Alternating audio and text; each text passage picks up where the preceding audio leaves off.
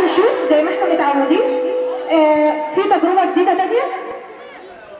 التجربة دي من خلالها برضه هيحصل تفاعل كيميائي. بس تعالوا شوفوا بقى الكيمياء وقد إيه الكيمياء ماده ملونه ومادة سهلة والكيمياء بتدي لأي حد بيتعامل معاها جواها. يعني إيه بيتعامل معاها وبيزيدها بس كده ها ده عباره عن إيه؟ تفاعل كيميائي على بركان الصابون ها يلا تعالوا كده نشوف اللون ممكن يختلف ولا لا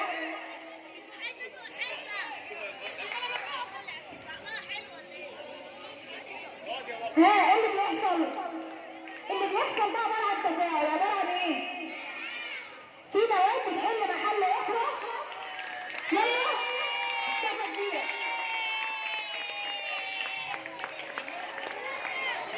ها. قد إيه العلوم جميلة؟ قد إيه العلوم ماده ملونه كده وفيها مسافات ها شايفين الصور مثلنا في صور كل ما بنجرب كل ما التجربة دي بيطلع أحسن وأفضل. ها بس كده لو حد مركز في دخان طالع أو في حرارة طالعة.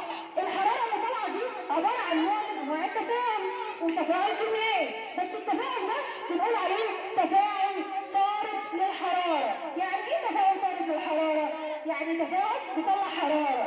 يعني طبعا زي ما سنه ثالثه جم لو حد حاول إن هو يقرب من المادة اللي هو المادة اللي بيحصل فيها التفاعل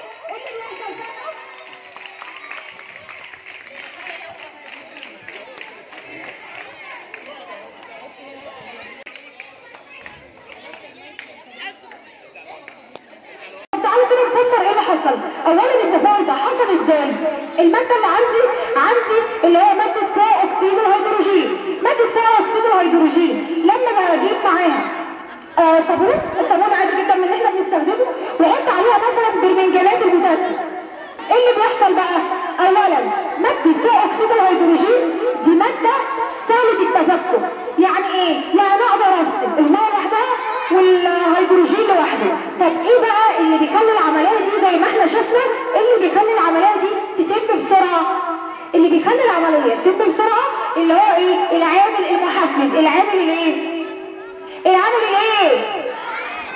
سنة ثالثه إعدادي فين؟ العامل الإيه؟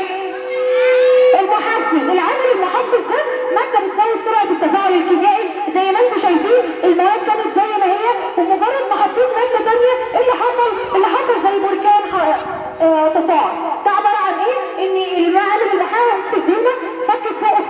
الهيدروجين والميه تمام؟